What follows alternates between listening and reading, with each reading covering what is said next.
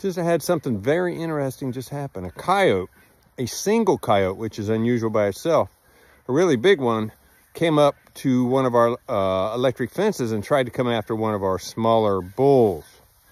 Now, he would have lost that probably, but uh, livestock guardian dogs went off. Everything worked as it should, but unusual because coyotes normally don't travel in singles. At least I haven't seen that. They certainly don't travel during the day, and this was a big one to even think about trying to take a cow. Keep your eyes open for coyotes. This weather's causing them to do strange things. Until next time, I'll see you down at the barn.